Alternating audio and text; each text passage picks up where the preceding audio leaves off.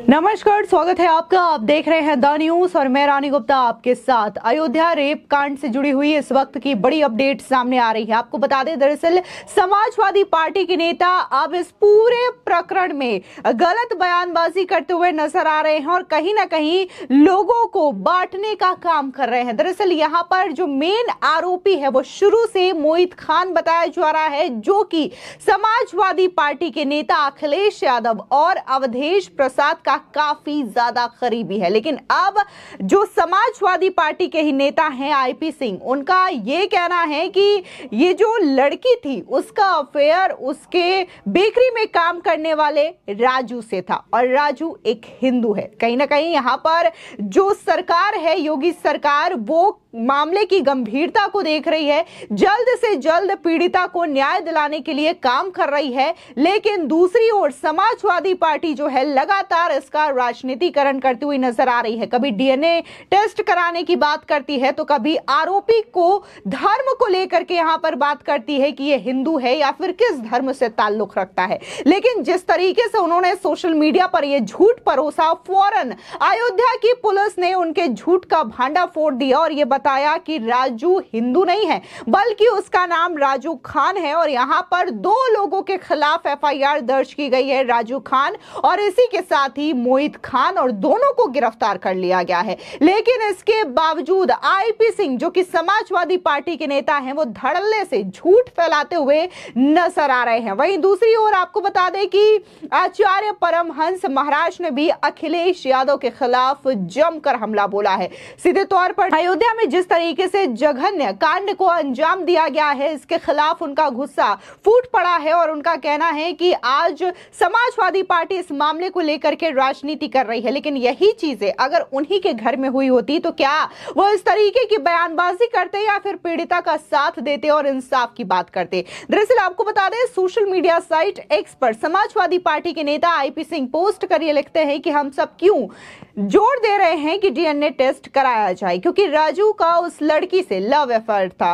राजू हिंदू है, बेकरी में काम करता था। ज़बरदस्ती बीजेपी नेताओं ने बेकरी मालिक बहत्तर वर्ष के व्यक्ति को इस मामले में मुस्लिम होने के नाते घसीट दिया। आज झूठे मनगढ़ंत मामले में योगी सरकार राजनीति कर रही है। माननीय उच्च न्यायालय इसका संज्ञान ले और लड़की की सुरक्षा बढ़ाई जाए, उसे एम्स में शिफ्ट किया जाए। लेकिन वहीं दूसरी ओर, जैसे ही ये पोस्ट किया जाता है आईपी सिंह की ओर से। अयोध्या पुलिस तत्काल उनके इस पोस्ट को लेकर के रिप्लाई करती है और यहाँ पर ये बताती है कि कैसे दो नामजद आरोपी है, मोहित खान और राजू खान। उन्हें गिरफ़्तार कर लिया गया है, हिरासत में भेजा गया है और बकायदा जितने भी साइंटिफिक एविडेंस है, उन्हें कलेक्ट किया जा रहा है। यानी कि फ़ौरन यहाँ पर अयोध्या पुलिस ने उनके इस झूठ का भंडा फोड़ कर दिया है। ऐसे में आपको बता दें कि कल देखने को मिला था कि बीजेपी की एक प्रतिनिधि मंडल ने भी पीड़िता के फैमिली से मुलाकात की थी और बकायदा इस पूरे मामले में कार्रवाई का आश्वासन दिया था। इस बीच पीड़िता की माँ ने बीजेपी के इस प्रतिनिधि मंडल से मुलाकात के बाद क्या कहा और कैसे वो आरोपी का नाम भी ले रही हैं आप भी सुनिए। हाँ मांग क्या बुलटोजा चलता है? बुलटोजा चले फांसी लागे बस। मतलब जो घटना हुई ये ये बहुत दर्दनाक घटना है। इसमें मेन आरोपी कौन था? कितने लोग थे? मोहित खान और राजू। अच्छा अभी भी कोई धमकी वगैरह आप लोग को मिल रही है? भदरसा के लोग धमकी दे रहा है अच्छा कौन भदरसा के लोग गाँव के लोग हैं या कि उन्हीं के घर के परिवार के लोग हैं? वही गाँव है एक सब वहाँ हम नहीं चिन्हित मुस्लिम लोग हैं? हम्म, क्या कहते हैं वो? मार डाल बहाई दिया मार के ही सब कहा थे अच्छा तो इससे शिकायत पुलिस से आपने बता दिया पूरी बात? अरे यार हाथ छोड़ दो हटाओ। पुलिस को बता दिया आपने नहीं बातें? हम्म, हम्म, तो क्या आप क्या चाहती हो? आप आप कुछ ना। कार्रवाई होनी चाहिए हाँ कल बुलडोजर की कार्रवाई हुई माता जी उससे आप कितना संतुष्ट हैं? आप हाँ। संतुष्ट है। और भी कुछ होना जैसे घर है? सरकार उनका तमाम उनका तमाम जिस संपत्ति है उस पर कार्रवाई होनी चाहिए।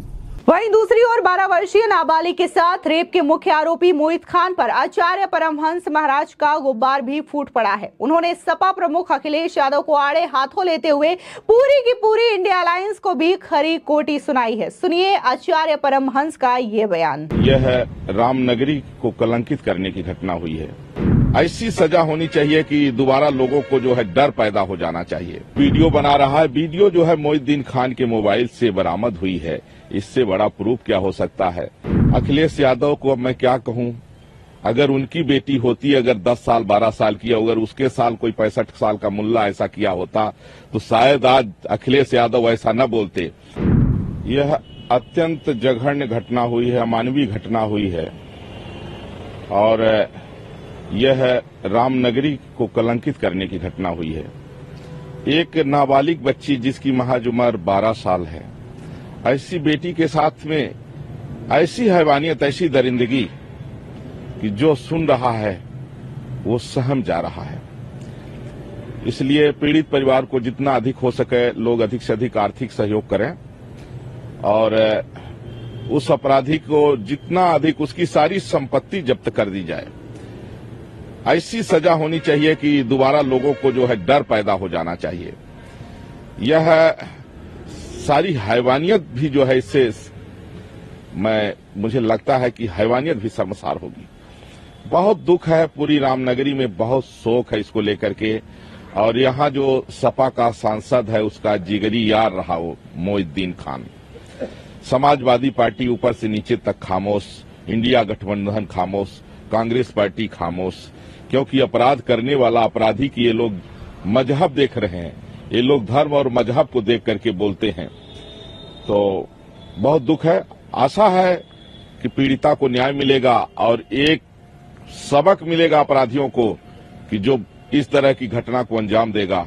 उसको बख्शा नहीं जाएगा चाहे कोई भी सपा प्रमुख अखिलेश यादव ट्वीट किया है जो भी दोषी है उसे कानून के मुताबिक सजा मिलनी चाहिए लेकिन अगर डीएनए टेस्ट के बाद आरोप झूठे साबित होते हैं तो इसमें शामिल सरकारी अधिकारियों को भी नहीं बख्शा जाए। डीएनए टेस्ट की मांग कर रहे हैं। देखिए यह जो घटना हुई है मोहिद्दीन खान लगभग पैंसठ साल उम्र है उसकी। लड़की जो है हिंदू लड़की है अति पिछड़ा समाज की गरीब की लड़की है उसके बाप भी नहीं है। वह मोहिद्दीन खान बलात्कार कर रहा है, मुँह में कपड़ा ठूसा हुआ है, लड़की छटपटा रही है, और उसका जो है सहयोगी दूसरा, वो वीडियो बना रहा है। वीडियो जो है मोहिद्दीन खान के मोबाइल से बरामद हुई है। इससे बड़ा प्रूफ क्या हो सकता है? अखिलेश यादव को अब मैं क्या कहूँ? अगर उनकी बेटी होती, अगर 10 साल 12 साल की, अगर उसके साल कोई पैंसठ साल का मुल्ला ऐसा किया होता तो शायद आज अखिलेश यादव ऐसा न बोलते। समाजवादी पार्टी के लोग जो इस तरह की बात कर रहे हैं, जरा अब भी शर्म कर लो। अगर तुम्हारे घर की बहन बेटी इस तरह की होती है, उसके साथ ऐसा हुआ होता तो आज तुम छाती पीटते होते। अरे, राजनीति को कुछ समय के लिए किनारे कर दो और मानवता को देख लो। एक बच्ची के साथ जो हैवानियत हुई है, जरा थोड़ा सा शर्म करो। मैं कहता हूँ, कोई भी हो, चाहे हिंदू, मुस्लिम, सिख, ईसाई, कोई भी हो, अपराधी अपराधी है।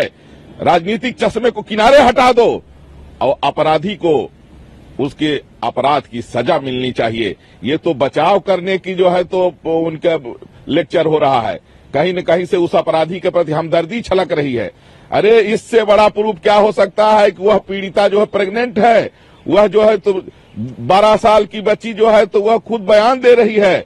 और वह जो वीडियो बना है, वह अपराधी जो है मोहित खान के मोबाइल से बरामद हुआ। इससे बड़ा और को क्या प्रूफ हो सकता है? थोड़ा तो शर्म करो भाई सपाइयों। जरा सा इंडिया गठबंधन वालों शर्म करो। है, या चुल्लू भर पानी में डूब के मरो। अगर तुम्हारी बहन बेटी को अगर तुम्हारे घर में किसी दस साल, बारह साल की बच्ची के साथ ऐसा अगर कोई किया होता तो क्या यही भाषा होती तुम्हारी? अरे क्या कहें? तुमने इंसानियत जो है खत्म कर दिया है। तुमने जो है राजनीति के लिए सब कुछ ताक पर रख दिया है। अरे तुम नमाज़ पढ़ो, कौन तुम्हें मना कर रहा है? तुम चादर चढ़ाओ, कौन मना कर रहा है? लेकिन कम से कम अपराधी का तुम जो है, देख रहे हैं कि अपराध करने वाला मुसलमान है, इसलिए उसके बचाव में इस तरह का बयान अखिलेश यादव ने दिए हैं, जो बेहद शर्मनाक है।